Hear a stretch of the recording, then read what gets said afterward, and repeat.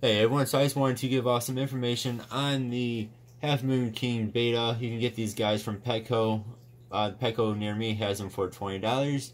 So I believe it's the same price or just a little bit more than your standard King Betta is. Uh, so these this is just going to be some information using pretty simple words here.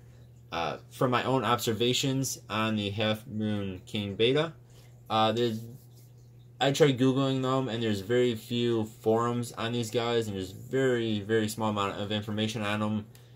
Petco's own website has information on them, but it's a very general information on bettas in general, and I wouldn't even recommend what they say on their website for any betta, uh, let alone a bigger betta such as the King here. So this is from my own observations, so keep that in mind here.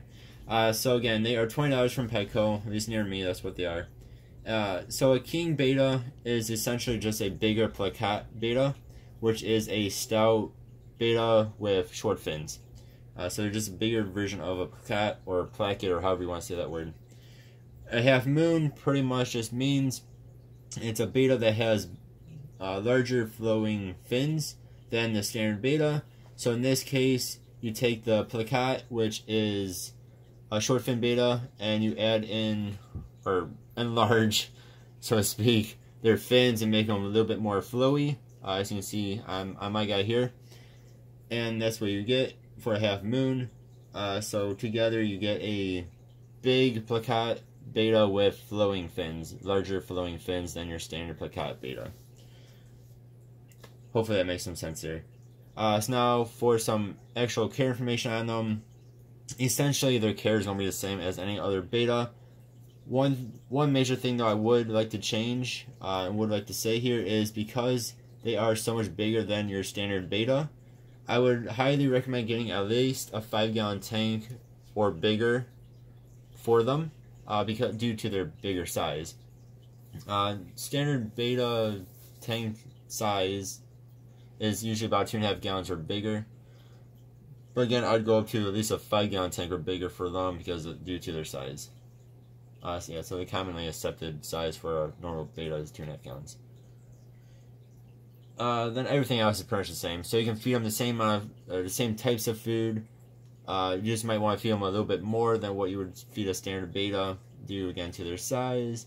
Uh, they should have somewhere to hide and somewhere to rest in their tank, something to rest on in their tank. Like him, he rests up here quite a bit on these uh, on this live plants up top here, or even in the in the uh, plants in the middle there, to the right there. Uh, of course, you will want a filter and a heater for them. They are still betta, so you know, filter will, filter will help keep their tank clean, and a heater will keep them nice and warm. As they should be somewhere somewhere around 75 to 80 degrees in their tank. And yes, you will see here I do not actually have a heater right now in this tank. That's because my room is always 80 degrees right now, being summertime. Uh, but once it comes winter time or fall, I will be putting a heater in here. Uh, so before somebody's comment on that, that is why. Yes, I mean, again, their care is going to be the same as any other betta. For most part, just need to enlarge everything. Uh, give them a little bit more food. Uh, or you can even feed them a little bit bigger pellets if you want to. Um, or just feed them a little bit more. Uh, enlarge their tank size compared to a normal betta. And of course, have everything else pretty much the same. Heater, filter, all that good stuff. Uh, places for them to hide, things like that. Uh, now, on mine, he has been very active since I got him. He was active in the tiny little crappy cup they keep him in. Uh, he was almost as big as the cup it was from Petco. Uh, as soon as I put him in this tank, he's been swimming all around. He's active as can be.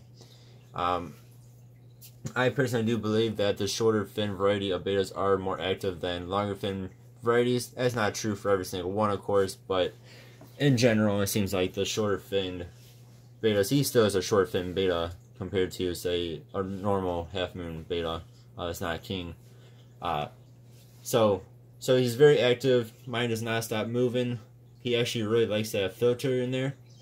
Before this filter, I had I had a stronger filter, and he was all the time in the current, and I was just afraid it was gonna hurt him. Uh, but he loves the current of the filter for some reason.